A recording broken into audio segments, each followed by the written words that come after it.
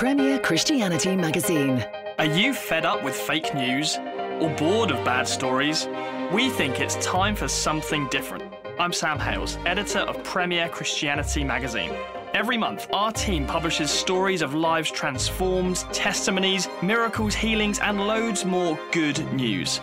We're here to encourage you, excite you, and keep you up to date with all that God is doing through His church. That's why we're proud to bring you a magazine that's different.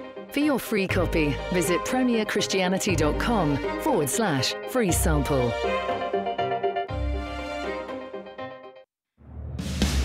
The Profile.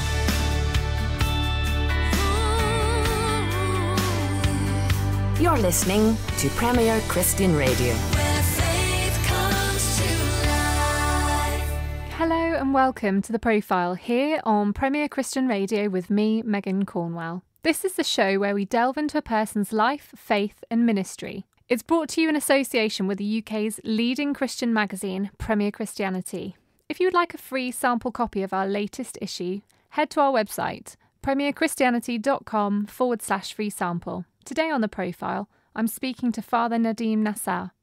Father Nadim is the Church of England's only Syrian born priest. He grew up experiencing war and devastation and has committed his life to the pursuit of interfaith dialogue and peace. He is the founder of the Awareness Trust and travels the world speaking with Christians, Jews, and Muslims. I spoke with Father Nadim in our London studio. Listen in. Father Nadim, on the profile, we like to start by asking you about how you became a Christian. So, can you just share with us a bit of an insight into your faith journey? Interesting. I grew up in a in a Christian family in Syria, which is a little bit unbelievable for the West, because when they everybody here when they know I'm a Christian from Syria and a priest, the first question is, Father, when did you become Christian? Because they suppose that I was a Muslim and became Christian. So I go back and say, well, my family was Christian. And the second question usually is, your parents became Christian. No. A little bit back, it goes to St. Paul. And of course, the jaws drop and, and they look at me. What do you mean? Well, my mother was born in Antioch. And do you know what happened in Antioch? Christians were first called Christians in Antioch, according to the Acts of the Apostles. And also, um, St. Paul became Christian on the road to Damascus. Surprise, surprise. Damascus is the capital of Syria. So, all this together makes me a natural Christian from Syria and normal, but not for the West. And I grew up in a very interesting family because my mother is Greek Orthodox. She's Syrian, but by denomination, she is Greek Orthodox. The biggest two denominations in Syria, Christian denominations, are the Syrian Orthodox or the Assyri- the, the Syriac and the Greek Orthodox. So my mother is Greek Orthodox and my father was Presbyterian the combination is amazing. and not only Presbyterian, Scottish Presbyterian, because the Presbyterian church in my hometown in Syria, Latakia, which is a seaport on the Mediterranean Sea, um, was established by the Scots, Scottish missionaries. So I, I grew up one foot in the Presbyterian church, which is intellectual, um, the, the church is completely empty. Nothing, not even the sign of the cross. Mm. And we always, um, I grew up singing the Psalms only. Where you, when you go to the Orthodox Church and you put your foot in, and then you are faced with a festival of colors and and icons and and and candles and and chant and and all this so the contrast is amazing. And that was really enriching for me. So this is how I became Christian. A bit of Presbyterian influence, a bit of Orthodox influence, and also my time in Beirut. during the war. We'll definitely get onto that later. Yeah. Just just to talk about your faith, and it might tie in with your time in, in mm. Lebanon. Did you have a moment where you felt, yeah, this is absolutely real? I've inherited this wonderful legacy from my parents going back all of these Of years. But actually, there has to be really a moment in our lives, doesn't doesn't there, where we say, I'm going to choose this way for myself. Did you have a moment like that, or was it just always something that was part of your history and tradition, and it just felt completely normal to you to believe in God? it's interesting for me you said it has to be there has to be a moment when you say no i realize or recognize or i admit or i, I confess or whatever. Actually it doesn't have to. Because the challenge in life sometimes and especially if you live in an area like the middle east it it can be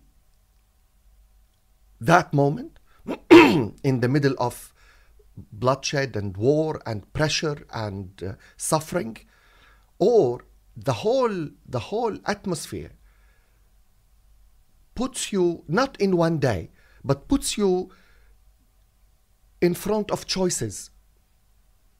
And those choices as you make them you increase your your um, direction towards god.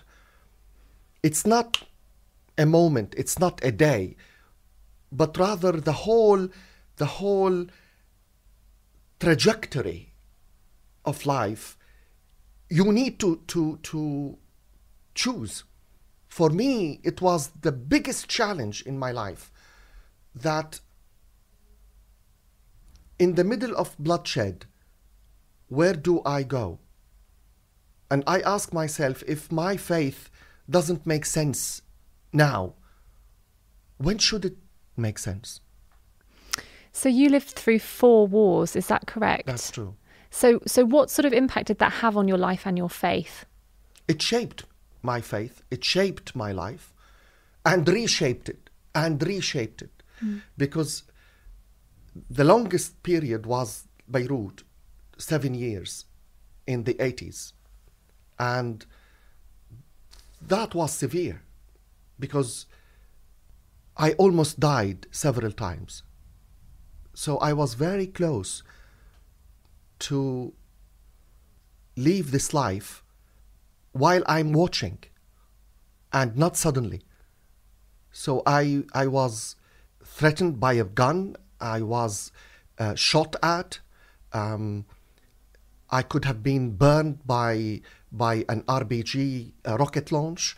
I, several times I could have died in Beirut or an explosion next to me or se- several occasions. Those occasions put you face to face with your mortality, face to face with your the question what is the meaning of my life? What what what is there for me? Why am I here? And when I graduated, I remember the first question I asked not what is next? Why did I survive? I shouldn't be here actually. That's a lot of pressure for a young man. I was very young. And did that push you into seeking your vocation and seeking what God wanted you to, to do with the rest of your life? I knew And what was that? peace building.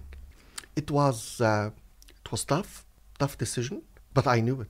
And you've gone on now to be the founder of the Awareness Foundation. It's doing just that, trying to build peace in the Middle East. Can you tell me a little bit about your work with that organisation? Yes, I love that region because of the suffering, maybe, because of the very special character that that region has.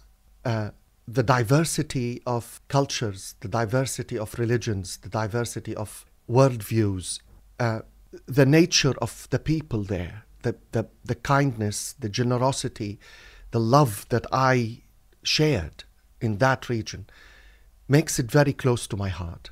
And also the constant suffering and wars that that never ends in the in the Middle East makes the challenge amazing for me that still I want to contribute to the peace building especially uh, now through the awareness foundation. We have we have two big programs there. We have one program for the young people called uh, ambassadors for peace.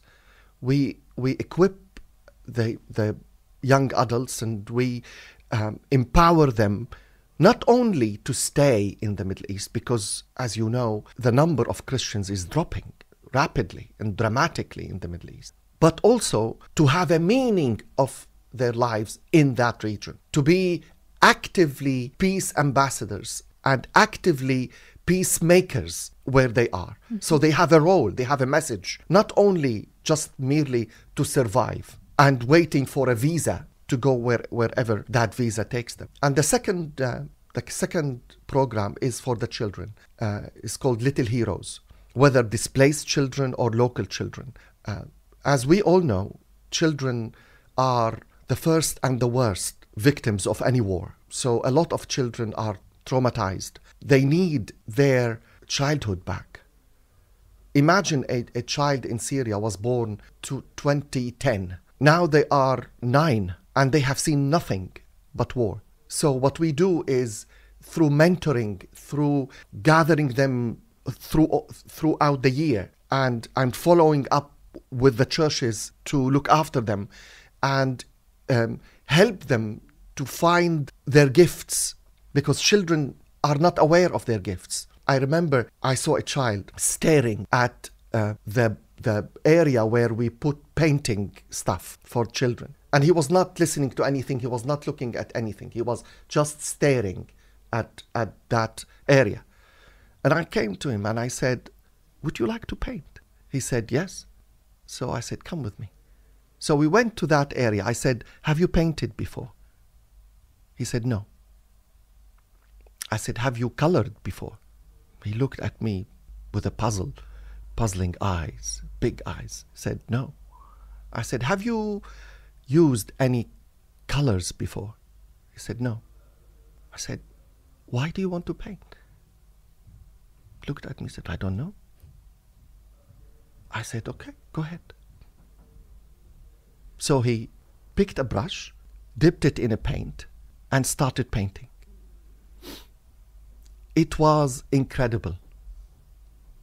He never stopped painting the whole day.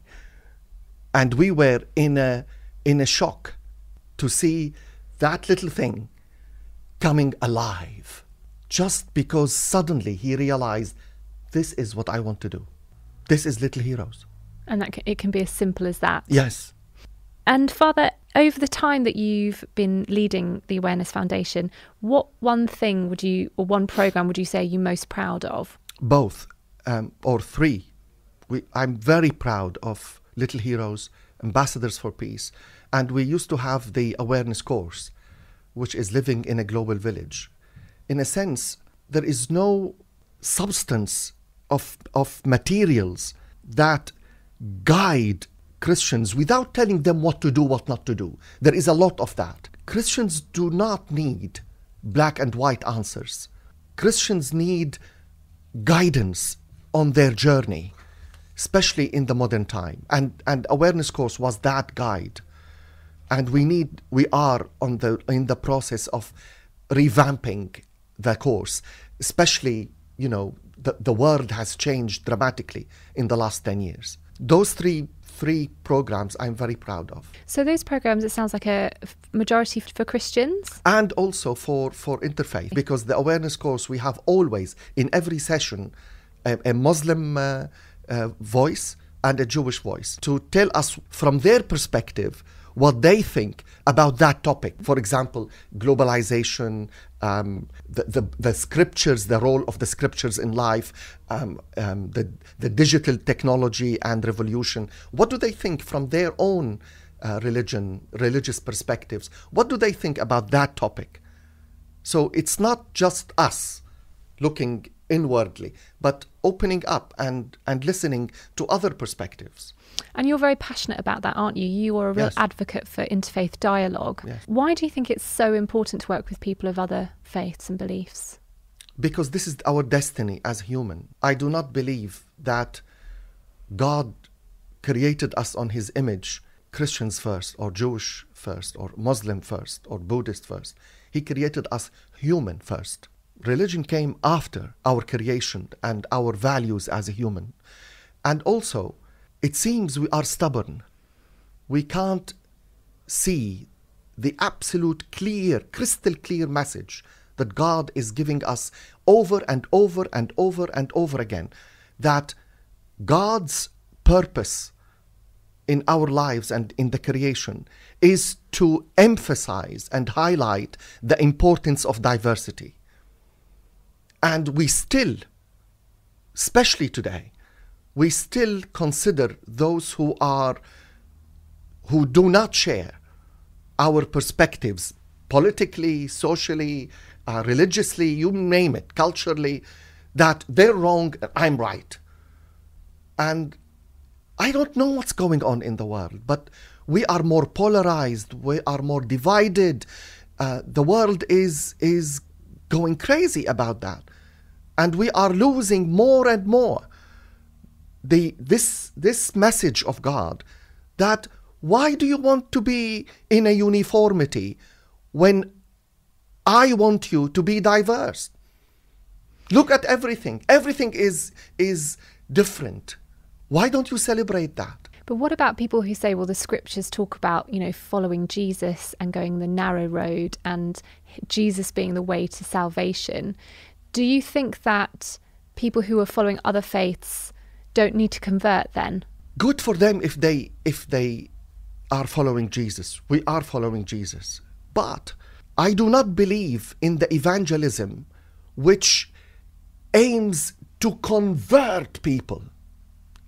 I, I believe in the evangelism which witnesses to Jesus. I don't want to convince anybody that Jesus is a savior.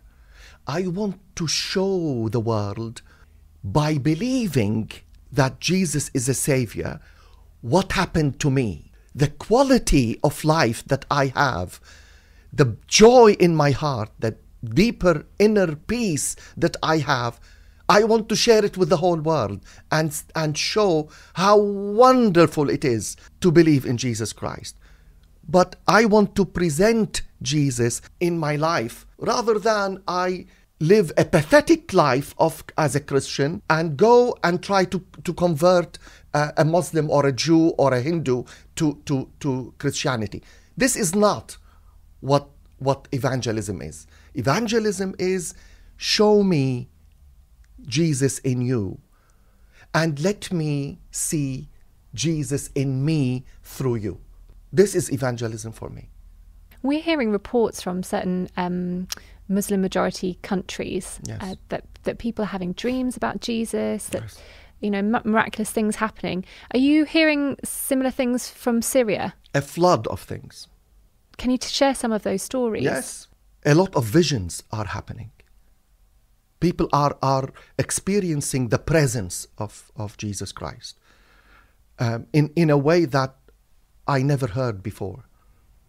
Before you, you hear, you know, um, an icon um, leaking oil or something um, the, the, the Virgin Mary, Our Lady, appeared somewhere from time to time. But these days, you hear visions, you hear people experiencing the presence of Christ eh, in a way that never happened before. Uh, it's amazing. I think, I think that also due to the suffering, due to the the heavy, heavy, heavy-hearted, heavy hearts of, of people. People need to take a, a, a, a breath of, of spirituality, a breath of meaning, a breath of hope. You know, this is what Christianity is about. I believe Christianity is about loving people in suffering and sharing with them a drop of hope, as if you are throwing a handful of water in the desert and hoping that those drops will be turned into a river. And they are turning into a river. So are you seeing people from other faith coming to, to Christ? Yes. In, in, in large numbers? in, in a way that never, never happened before. It's astounding. And do you think that's because people are seeing um, the evil in fundamentalist Islam? Is that is that pushing them away from Islam? Do you think, or is it another? Re- is it for another reason? I, think, I I think fanaticism in every religion is destructive. Fanaticism in every culture, in every worldview, is destructive because it it puts you in a cage. Fanaticism is a cage, and the person in that cage, I feel for them. I don't condemn them. I condemn what they do, and I condemn the hurt they cause for other people. But I pity them because this cage is not easy at all. And we need to help them to break free from that cage. And sometimes, whatever we do, we, we help, but the real breakthrough is when God becomes present in that cage and breaks it for them. And this is what, what I feel the church is not doing enough. Here, where we fail as a church to give Jesus Christ, the liberator, to the world and, and give, give him as a symbol of freedom. You know the truth, and the truth will set you free. But Jesus said, I am the truth. And also, if the Son sets you free, you are indeed free.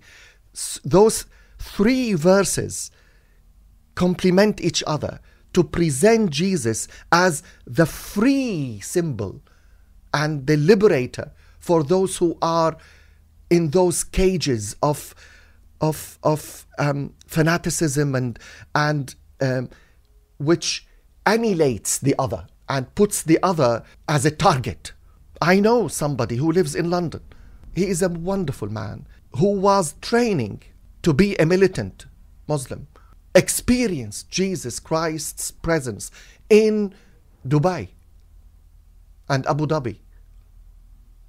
And he used to go to Iran to um, to be trained, and and he he wanted to convert all Christians into Muslim, into Islam, and he was very militant and very close-minded until one day he he met Christ in in a in a miraculous way and broke all the barriers in in his heart and in his mind. And now he is he's a dear friend. I love him. And uh, he is an evangelist here. He's a he's a minister. And also he has a phd in law to help young people who are vulnerable to to offend and he wants Vulnerable to to help indoctrination. Yes. Yeah. And he wants to help. He is Syrian, and he uh, he wants to help the youth in Syria who are you know involved with with violence. And talking about the war in Syria, Father, it's current Syria is currently ranked as the second deadliest country in the world because of the civil war that's been raging since 2011. Do you feel anxious for your own safety when you're travelling back and forth? Safety is a very relative word. Do you think we are safe in London? Uh, am I safe to cross the pond on a on an aeroplane? Um, am I safe in New York or Minneapolis or Beirut or um, safety is is something I don't even. I stopped thinking about safety since 1981 in Beirut because it doesn't mean for, for me it sounds absolutely crazy but doesn't mean anything what it mean for me what the meaning in is in the mission that i'm going to, to do wherever i go of course i'm not crazy to, to throw myself in a, in a unnecessary risky fires but at the same time what you do is you do and you leave it to, to That- him That's very interesting because I think you can people can go two ways when they've been in experienced very traumatic situations like war and Mm-hmm. and battle. Uh, you can either go the route of P- PTSD and, and trauma and Trauma, problems, yes. or I mean, like you're saying, you you've almost overcome the fear of death because you've been so close to it. I remember uh, St. Paul when he said, I have a desire to be with Christ, but being with you now is, is better. Yeah, for me, is the same. The desire to be with Christ is overwhelming. But as long as He has something for me here, I'm here. Father, how do you nurture your, your your relationship with God and your faith so that you're so that you feel that zeal and that you haven't lost that zeal and that passion from all of those years ago? Mm-hmm. Is that just a mercy that God has bestowed on you, or is it something you actively try to nurture every day so you don't become apathetic and you don't become cynical? It's a wonderful question. You know, if we bring a blind person from birth into a pitch black uh, room and we give the, give this person his or her sight back, would anything change? No. It's a pitch black room. But now, let's open the door to the sun uh, or the window. Let's open the window for a fraction of a second and close it again and take his sight away. Again, what did you do to him, to this blind man? You showed him a different way. Yes, but you destroyed him. Because that fraction of a second, he would never, ever forget. And he would seek that, that ray of light all his life. And he will live on its memory to the moment of his death. And I have seen all uh, those glimpses of light, of grace. And those glimpses are atomic energy in me that never, never ceases, never stops, never dry out. That fuel my passion and my life constantly to go wherever I'm led by His grace. That brings us to the end of part one of today's show. But join us again to hear more from Father Nadim Nassar right after this. Premier Christianity Magazine. In this month's issue, we invite leading scholars to unpack the gospel accounts of Jesus' birth and explain why we can have confidence in these stories.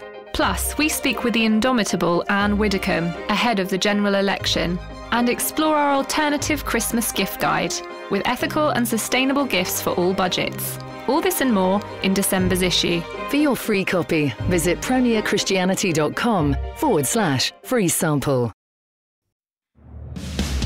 The Profile.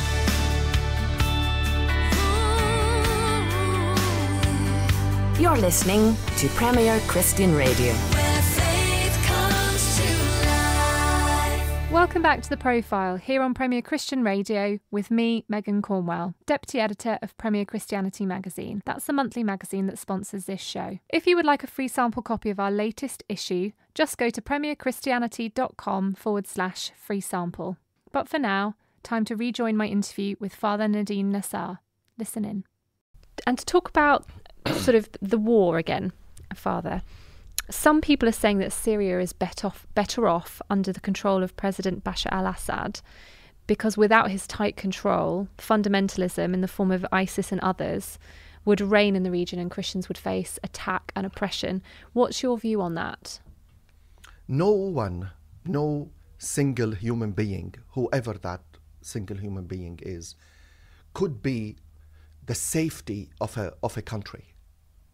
The safety of a country when we build a system, a political system, a social system that protect that country. Can you say now the prime minister in Britain protects the country? Or the queen put, protects the country? You can't say that. What protects the country is when you have the rule of law, when you have a parliament, functioning parliament, when you have, when, when the people have a say in how their life sh- should be run. So, whatever position you have against or pro the president as a president in Syria, whoever that president is, that president as a person should not be what, what we seek. What we seek in Syria is that a system that stops corruption, that restores law, that um, starts building up Syria again, and give the people the security they need that the institutions of, of, of Syria are functioning. And that what what ruined Iraq. Because after the invasion, the British and the Americans, they dissolved all the, the, the institutions. And, and the, the, the whole country went into chaos. Because of that, I say in Syria, it's not just change the regime. Everybody is, is about changing. Changing to what? Before we, we, we rush to, to change and to, yes, we all want to change. We all want, want a system that secures change of, of people whenever the people elect and what and respect that. So I'm not pro or against a human being. I am against any power that doesn't uh, that that is not or is beyond the power of the people. So, so you you're looking for a democratic. Yes, but but country. democracy is is a very dangerous uh, word because democracy is not something ready-made. You apply it. I, always have an analogy for for democracy is like water. Water it takes the shape of the pot. So I have in this mug water the water is taking the, the shape of the mug. If if the if the water is um, um, a cube of ice, I couldn't have put it in that shape. So democracy should be um, flexible in shape and emerges. It should emerge from from the shape of the society. We can't take the the the British democracy which is different from the French democracy or the American democracy, and apply it in Syria or Iraq. It doesn't work like this. And people would reject it because they see it as a sort of Foreign. Exactly. And something imposed on them, rather something they they aspire to to to implement and to enjoy. Yes, I want a parliament, but a parliament which looks like Syria, which doesn't look like Britain or, or France or, or, or the US or Russia. No. I want a Syrian parliament that is unique to the society of Syria. And what do you think is the solution for peace in Syria? We have to, uh, to see the shape of the problem in order to see the shape of the solution. The shape of the problem is a proxy war. A proxy war means a war that involves many powers. So, America is involved, Russia, Britain, Europe, um, Saudi Arabia, Iran, you name them. All of them are involved in, in the war in Syria. So, we need an international initiative that there would be an international will to find a solution for Syria, that the Syrians should adopt it and find themselves uh, comfortable with it. At the moment, I don't see that the international community has the will to solve the problem in Syria, which is very sad for me and, and, and it's very upsetting. Do you have any opinion on what that solution could be? How that could, how peace could be brought about? Yes, um, I, I do believe that there should be. I used to I used to say. The there should be a dialogue this, the, uh, uh, involved Syrians Syrian Syrian dialogue. Later, that is not not necessary because when there is a ceasefire, the ceasefire is not announced in Syria. Is announced either in in in uh, in Moscow or in Washington so it that, that leaves the people of Syria out. So I think there should be an international peace conference, be, um, my shape of this conference in my head is the first day is for for the press because I know the press is very keen to to know the shape of that. But then the press is out and behind closed doors to end the suffering of that country because we have not seen such destruction in Syria and such devastation since the 12th century. And it's the biggest human disaster since the Second World War. And it won't end before all those who are involved sit around the table and find a solution. And how have you felt, Father, seeing your fellow countrymen, women, and children literally dying to find refuge in the West? How has it felt to see those pictures and read those stories in, in our newspapers here? I saw Christ being crucified again and again and again, every day. It seems we forget easily that those people are human beings with stories. Those people are doctors, engineers, designers, IT specialists, economists, writers, artists, musicians, fathers, mothers, left families. They had life we could envy for. And we look at them as objects. We dehumanize them in order to reject them. We have in the world 60 million refugees. I ask, where is Christianity? Where is the church? Those are not objects. Those people came out of good homes, those people loved their children as much as we love our children here. They went to schools and universities.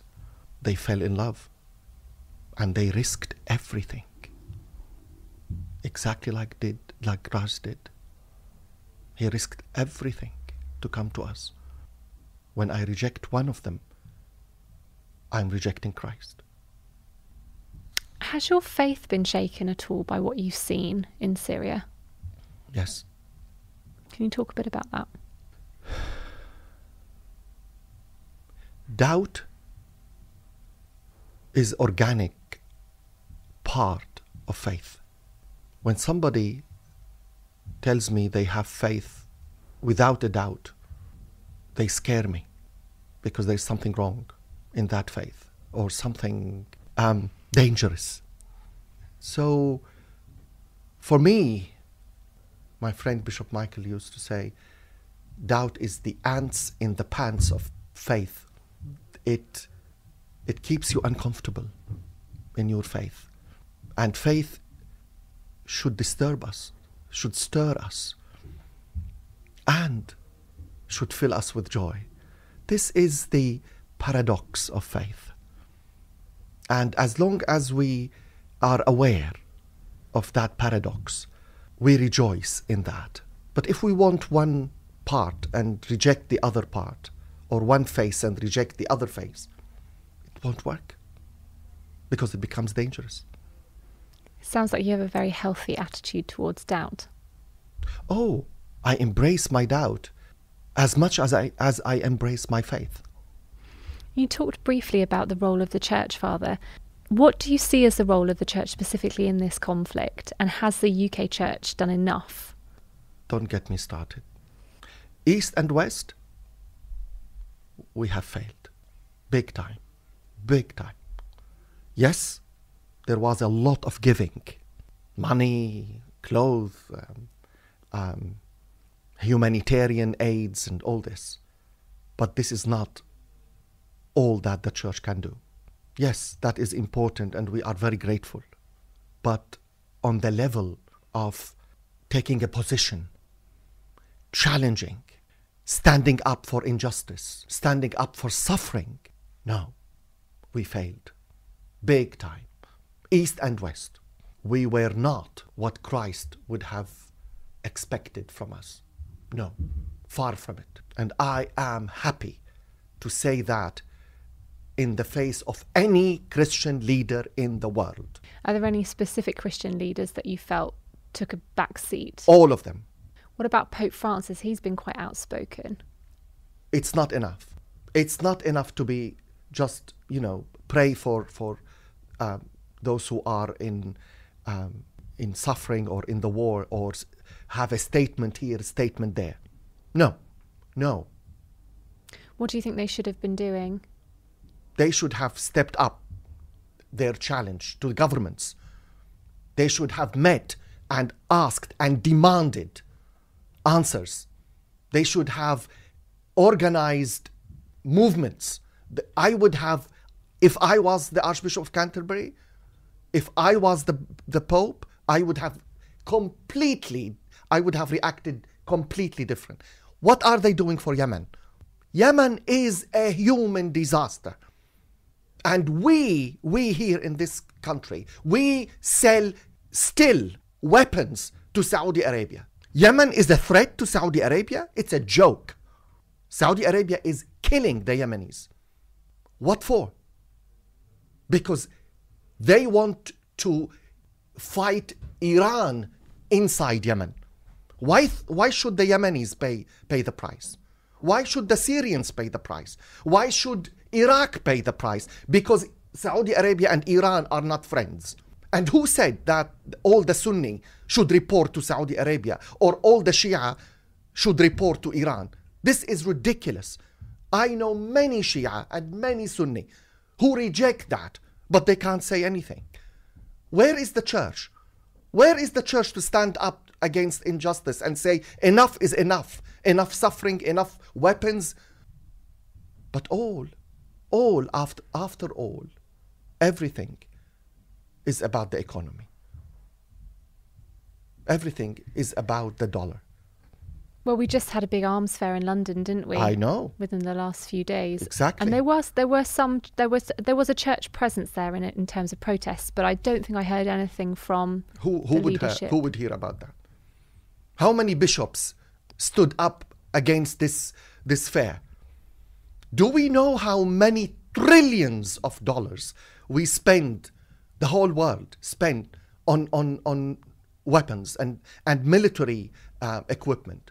If we put those trillions of dollars to build our cities and our, our villages and, and, and clean our, our climate and our air and stop the Amazon to, to be burned down, the lung of the earth, and the oceans to be exploited in this way, we would have been in much, much more healthy and better way and can stand a bit with the head high in front of God. We have destroyed earth and we are destroying it every single day. And the church is sliding away as if nothing is happening. A, a, a conference here, a paper there.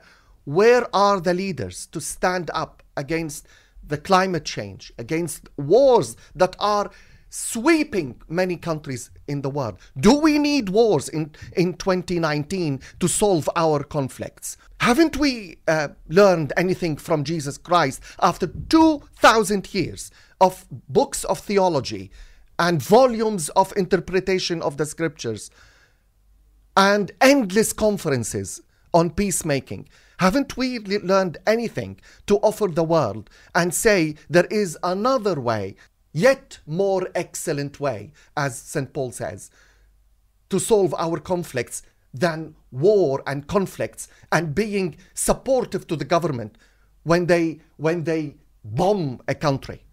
We need much more. Much more. 60 million refugees in the world doesn't say a good word about the church. I'm very critical, but I acknowledge the good side. Of course, we, we, we need to encourage the good side of the church and, and the giving and the, the people who are paying their lives to help. But on the level of, of the pressure, the level of, of um, uh, doing something more substantial, no. We are failing. Absolutely. I told you, don't get me started. Father, to come on to something slightly different now, you are really passionate about your home country. That's very clear, and you ha- and you're passionate about helping Christians in the West understand Jesus in his cultural context. Yes. And you wrote a book about this last year called "The Culture of God." What motivated you to write this book? Ignorance, ignorance about the roots of our faith, especially in the West and in the East, but especially in the West. I just came back from uh, the, the festival of preaching. And most of, of, of the sessions that, that I attended spoke about Christianity. But actually, what they meant was Western Christianity. But of course, is there an, any other Christianity in the world? So they assumed that this is Christianity. So when I gave my, my session, suddenly there was, it was a shock for the people that no, Jesus was not born under Big Ben and was not born under Eiffel Tower or the Empire State Building.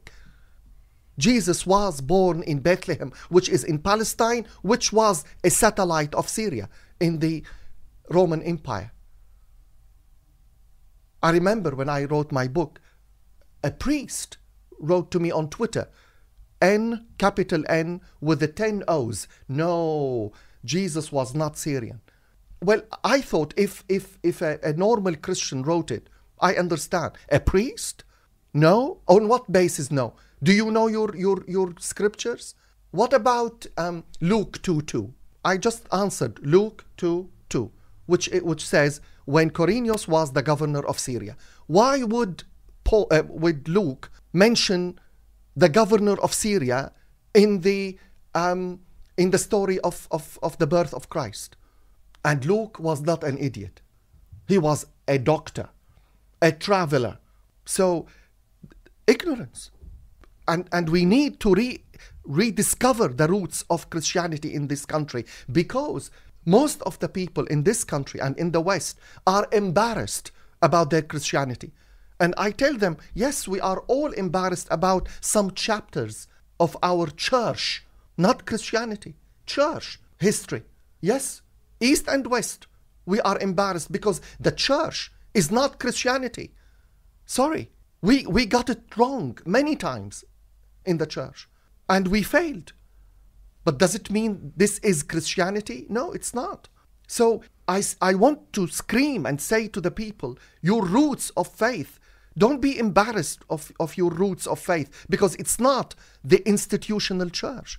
It is Jesus Christ who was Syrian, Syrian citizen. And the more we unpack the culture of Syria, the more we, we find the culture of the Trinity, the culture of love that Jesus revealed. What are some of the ways in which we've misunderstood Jesus? Can you give me any specific examples uh, of the way we've misunderstood Jesus by looking at him through a Western lens? Yes. Um, if you look at the image of Jesus, for example, it does affect our attitude to Jesus when we see Jesus as a blonde and has piercing blue eyes. well, sorry to disappoint you, Jesus was not blonde and didn't have piercing blue eyes. So Jesus was rough, was dark haired and, and, and brown eyes and and he was rough and and he was a revolutionary man. So even on the level of the image of jesus we this this um, fluffy jesus it, it is destructive image of, of, of, of christ. Christ was not fluffy. He was far from being fluffy.